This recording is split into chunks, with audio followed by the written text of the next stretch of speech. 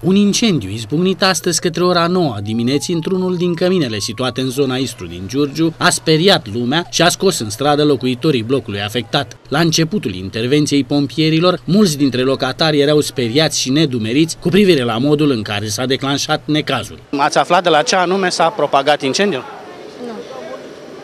Una dintre cele mai nemulțumite persoane, o femeie care invoca afectarea serioasă a apartamentului în care locuia, emita și presupuneri cu privire la cauzele declanșării incendiului, în virtutea faptului că ar cunoaște obiceiurile unora dintre vecini. Avem fum, nu e vorba de fum, e vorba de apă, că e ca afară apa în casă la mine. Nevasta ia băutura și lasă să bea și la urmă fuge, ca să-și dea bărbatul foc. Intervenția pompierilor a durat circa o oră și a presupus salvarea de la niveluri superioare a unor persoane, căci gazele și fumul făceau imposibilă evacuarea locatarilor pe scara blocului.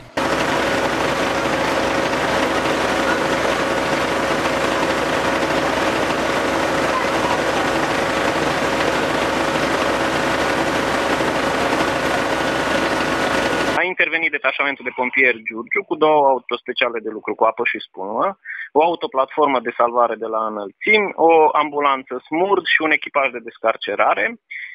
Uh, au fost evacuate aproximativ 40 de persoane din tot blocul. Uh, intervenția a durat o oră, aproximativ o oră.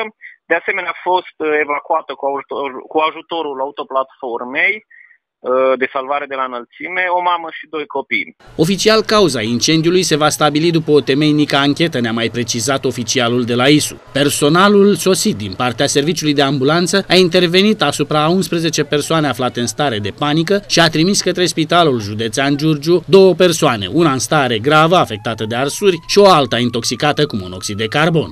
Au fost uh, asistate la fața locului de către cele trei ambulanțe cei dintre care una de tip, cei doi cu medic, 11 persoane uh, și numai două au fost aduse la spital, o persoană de sex feminin intoxicată cu fum și uh, cel care am înțeles că este într-o stare mai gravă și așteptăm probabil să-l trimite la București. Informații mai recente venite din partea ambulanțierilor giurgiuveni confirmă faptul că bărbatul cu arsuri de căi respiratorii aeriene a fost transportat de urgență la București cu un helicopter smurt.